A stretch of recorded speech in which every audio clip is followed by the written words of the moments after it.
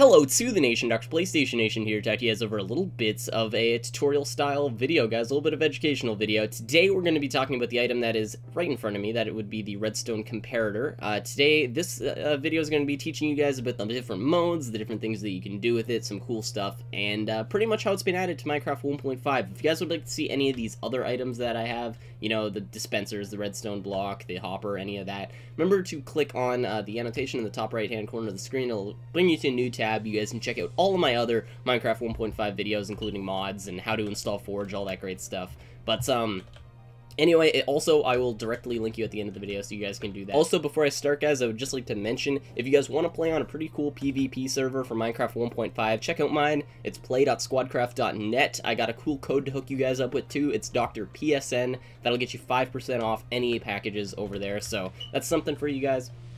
But we're over here at the uh, comparator section, uh, showing you guys the comparator, what you can do with it, a few cool things. And um, first of all, we're not going to start off with the comparator. Instead, we're going to start off with the redstone repeater, because that's the closest item that's already existing in Minecraft that a lot of you guys probably know about. It's the redstone repeater. And this is how you're going to craft the redstone repeater. It's just three pieces of redstone or sorry, three pieces of stone, a redstone, and then two redstone torches. Again, guys, I apologize if I cough or my voice doesn't sound that great. I am pretty sick right now. But um, so this is how you're going to craft a redstone repeater.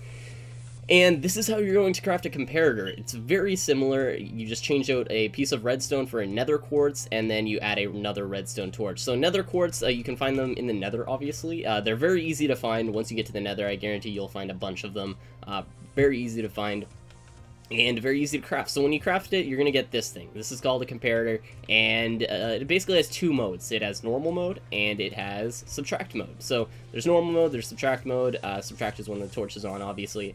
But um, those do some pretty different things, so it's very important that you guys kind of know what they do. So Again, sorry about that, guys. This thing uh, was working in one of the snapshots. Pretty much, it's supposed to be a machine gun, but basically what happened was previously in one of the snapshots, the comparator caused redstone updates, which would mean this thing uh, would rapid fire. Uh, it was like a machine gun. But now, with the new, uh, the final release, uh, they, they had to change that because it messed with some timing issues, and that's pretty much that. But, um, yeah, so it kind of sucks now, but anyway, moving on from that.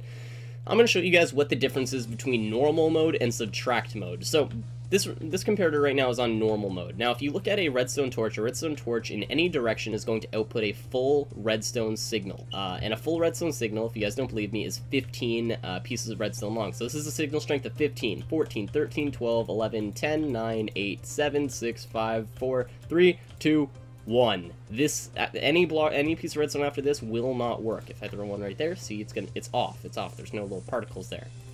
Now the use of a repeater, if I throw a repeater here, is the repeater will renew the signal. So sorry about that guys. The repeater will renew the signal. So now I can go for another 15 blocks. What the comparator does is, if I show you right here, the comparator will not renew the signal. So this is a signal strength of 1. If I throw a comparator right here, and then throw a piece of redstone here, this still has a signal strength of 1. The repeater will repeat or renew the signal.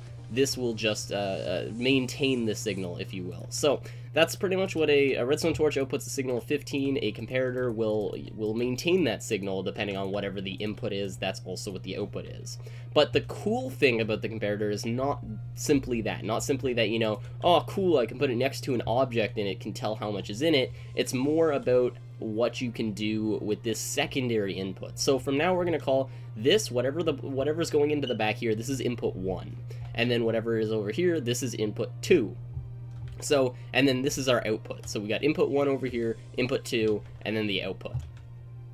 So this this torch here is outputting 15, a signal strength of 15. So this was 15, this is 14, and this is 13. So input 2, we've already we've already found out that is it's 13. So it's a signal strength of 13. Then we have this dispenser here, and this dispenser here is full. That means that the signal strength for input 1 is 15. So this is 15, this is 13, and if we look here, uh, you guys are just to have to believe me because I don't want to build this.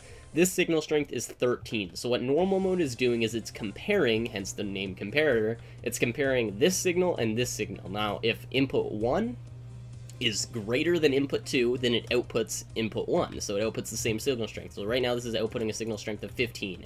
Now, if I were to take this out, it's outputting a signal strength of 13 now. So this is 13, this is 13. If they are the same, it'll still output a signal strength, and that that is uh, that's that's how it works. So it's going to output a signal strength of 13. Now, if I take out one more, as you guys can see, now it is below 13. This is input 2 is 13. This is less than 13, so the signal, the output is off. So it's false because input 2 is greater than input 1.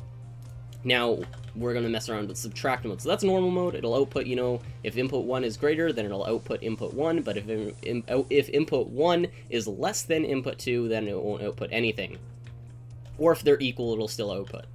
Subtract mode does something pretty cool. What it does is it compares both signals the same as before, except now it'll subtract them. So it's actually taking this 13 and subtracting that from the 15 in here. So we're taking 15, we subtract 13, and as you guys can see, there's 2 right here. So if I were to take out a whole stack of arrows, now this signal strength is 13, this is 13, so the, the output is 0. Now if I take half a stack, that'll turn this into 14. 14 subtract 13 is 1. So there is some basic math involved. I assume most of you guys can do, you know, addition and subtraction up to 15. If we are at the point where, you know, they're both completely different, so say this one is less than that, again, there is no negative redstone, so this is still just 0. But uh, that's pretty much how the, the subtract mode and normal mode works. Now, if we want to apply that to something, we could use something like this. This is called a command block. Now, if we have the command in here, uh, crap, that was supposed to be an actual command. I don't, I why is that, why is that broken? Um, okay, well, looks like we're gonna have to improvise here because there should have been a, a testfor command in there. So if we get back here, we're going to throw in this testfor command and we're going to change this for this this block right here. And what I think this block is, is it's uh, done. Let's go up here, check it. So this is 624, 57, 998. or 624, 56, 928. Um, 6, 24, 56, and uh, 928. Yeah. Uh, or, sorry, 998. Yeah uh, 998. So, and then we got a range of 3. So basically what this command block is doing is every time, th this is a 1 second clock, so it'll go off every 1 second. And if I can do that, uh, it'll go off every 1 second. And every 1 second, this, this command block here is updating. As you guys can see, it is outputting a signal. If I back up, it's not. it's updating. It's updating whether there is a person within 3 blocks of the command block. So if I move in here, as you guys can see, now there is a person within three blocks. It's set off that note block there. Now, this could be e as easily a piston, it could be a door, it could be a trap, it could be a bunch of things. You're basically, this is a very valuable thing to use the comparator for. Now, if I have this repeater here because I only have one person on this world. But if I were to just have a piece of redstone here, it's going to output a signal strength of 1. If there was two people here, then it would output a signal strength of 2, 3, and so on and so forth. But this isn't, you know, a command block video. This is about the comparator. So this is pretty much how that works. It's definitely something cool. Again, you know, if I were to give you guys some advice, you could use, you know, subtract mode, and you could make it so that if this was a, an adventure map where you needed five people here in order for it to work, you could have a signal strength of five going in, or sorry, of 10, I guess, going in, uh, or sorry, of five going in, sorry, and uh, it would have, or four going in, and then if you had five here, then it would, you know, output and it would be true and all that great stuff. Now, I actually use this for something a little bit more complicated. This is a two-tick clock, uh, so every two ticks, or I think one-fifth of a second, uh, this is going to check, and as you guys can see, it's going to set off all these notes. Now, you can't hear them because I turned off my Minecraft sounds, but again, these could just as easily be pistons. They could they could be pushing you off of like a ledge or something like that. You know, they could be delayed slightly. There's a bunch of cool things that you can do with it, and I definitely love uh, the comparators for that. I love the testfor command, all that cool stuff. But uh, anyway, guys, hopefully you did enjoy this video. If you guys did, remember to leave a like rating down below, as well subscribe join the nation if you already haven't. Remember to check out my subscriber server or any of the annotations that will appear in a second.